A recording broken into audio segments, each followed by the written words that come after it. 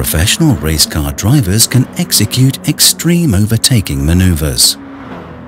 However, conventional systems for autonomous overtaking rely on either simplified assumptions about the vehicle dynamics or solving expensive trajectory optimization problems online.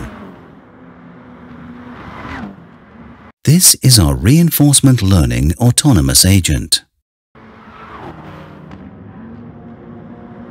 When the vehicle is approaching its physical limits, existing model-based controllers struggle to handle highly nonlinear dynamics and cannot leverage the large volume of data generated by simulation or real-world driving.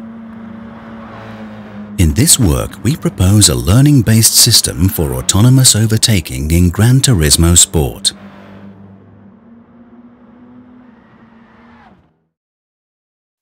The key to our approach is leveraging task-specific curriculum reinforcement learning to train an end-to-end neural network controller.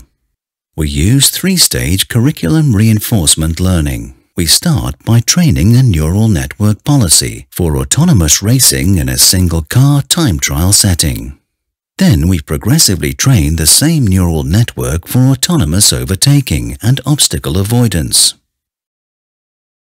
We show that this training methodology leads to faster convergence as well as increased performance compared to learning from scratch.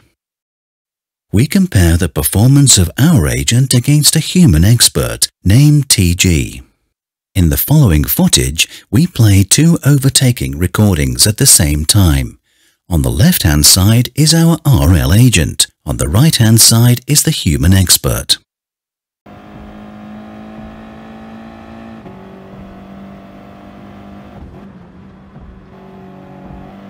Task is to overtake five other cars, controlled by the built-in model-based controller, running on the same track and with the same starting point. We show that our train policy successfully overtakes the built-in game AI and achieves overtaking performance comparable to an experienced human player.